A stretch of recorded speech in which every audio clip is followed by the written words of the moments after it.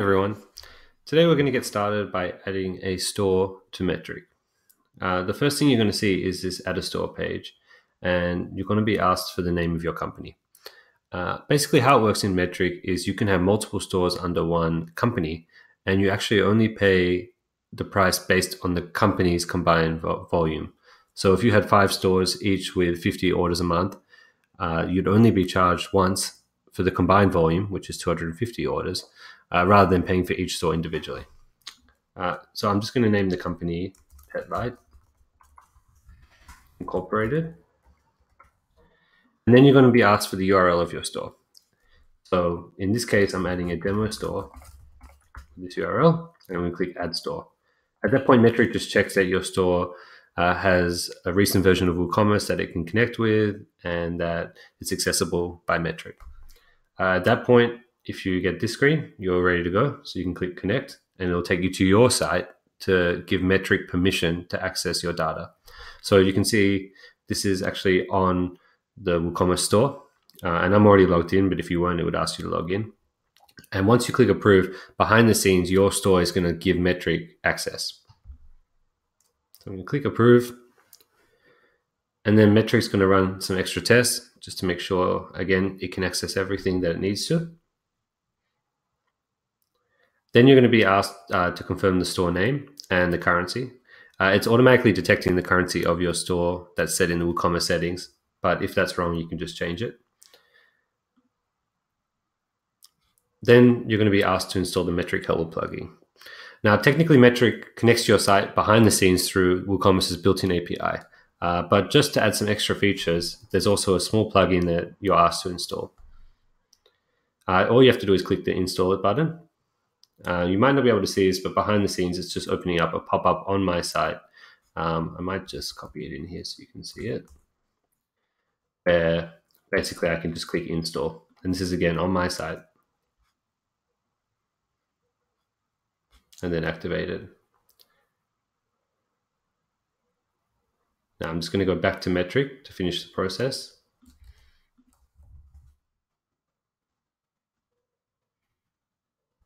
Again, I'll just say I've confirmed it and then just say I've installed it. Now, at that point, behind the scenes, um, Metorik is getting everything ready to connect to your store and start processing all your data. Uh, so you just need to wait a moment. And then we're good to go. Uh, at this point, you're given the chance to set up your team while it's importing the store. And depending on the size of your store, this can take anything from a minute to an hour to a few hours. It really just depends how big you are. Uh, just for a ballpark figure, this store has 500 orders, and I'm estimating that it's going to take probably about 10 minutes. Uh, so at this point, I can now invite my team.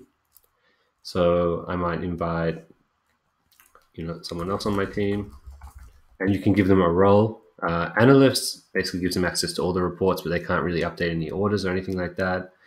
Uh, while editor can do a lot more, they can update orders, they can see everything, um, but they can't add team members or change the settings. Admin is kind of at your level where they can do pretty much everything besides touch the billing for the overall company. Uh, and Packer and Packer Read, these are roles that give them limited access, so they can't see any reports, they can't export any data but they're able to look at orders, look at customers. If they're a packer, they can update statuses and add notes. Packer Read can't even do that. It can really just see see the orders, see the customers, but that's it. Uh, by the way, it, you might notice that it's at 10% and not moving. Uh, just at the start, it can be processing some things, so that can take a little time to move. Okay, so I'm just going to invite this user as an analyst. Great. And then I'm going to skip to the next step. Uh, at this point, you can create a digest. Now, digests are automatic emails and optionally Slack messages that kind of just give you a report, a summary of how your store has been performing over the previous period. So if I set up a email digest that went to Bryce and Metorik and I made it uh, daily, it would send an email every day, only if there's actually been activity in the past day. Um, we don't want to send you an email that just says nothing happened. So maybe you want to do a weekly one and you want to go Monday at 9 a.m. Uh, and at that point, it's going to just summarize the whole week before.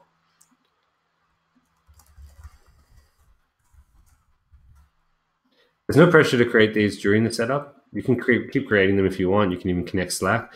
Uh, also, you can just do this after the store's already been set up. And there are a couple different types of digests. A general one uh, kind of just gives a overview of everything, while products focus on individual products. If you're using WooCommerce subscriptions, you have the ability to create a subscriptions digest, which will give you some stats like your monthly recurring revenue, your renewal figures. I'm going to go to the next step, which is integrations. This gives you a chance to connect um, a few integrations. This, this, is always changing. There might be more by the time you're setting up your Metorik store, uh, but some of them include Slack, Google Analytics, uh, some support platforms. The Slack one is really useful for digest, while Google Analytics gives you the chance to see conversion rates and visitors and other stats from Google within Metorik. I'm not going to do any of that right now, though, and I'll save that for another video. Finally, the settings just gives you a chance to review uh, your report settings. Uh, one of the most useful ones is down here, which order statuses should be excluded from reports. So it gives you the chance to say, maybe I have a custom status and that's like a um, pending, maybe pending review where our team wants to review the order before we actually count it as a real order, maybe for fraud reasons. If you had that custom status there, you could choose to exclude it and completely ignore it from reports. Uh, by default, it's just going to exclude failed, cancelled, and pending orders. Maybe for us, we don't want to even count processing or on hold. Um, so we can just check that and it'll exclude them. And then back to the import page uh, where it's just going to show you the progress of the import. And as soon as it's done, it'll take you to the dashboard. If you want, you can just close this window. And then as soon as it's done, uh, it'll send you an email and then you can access the dashboard.